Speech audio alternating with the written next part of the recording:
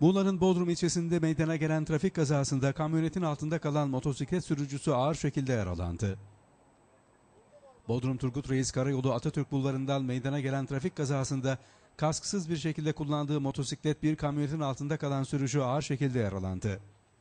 Konacık Kavşağı istikametine doğru seyir halinde olan Esat E yönetimindeki 48 BE 321 plakalı kamyonet, İsmet Paşa Caddesi'ne doğru dönmek için manevra yaptığı sırada Emin 1. İdaresindeki 48 BC 034 plakalı motosikletle çarpıştı.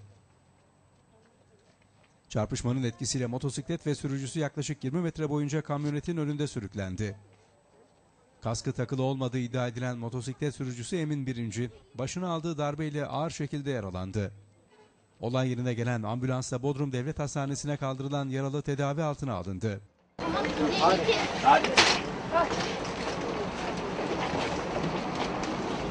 Yavaş.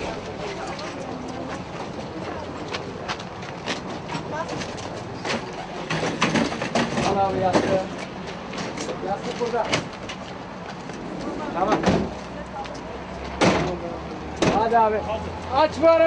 Yaralanan motosiklet sürücüsü Emin Birinci'nin sosyal medyada yayınladığı motosiklet şovları ise yürekleri ağza getiriyor.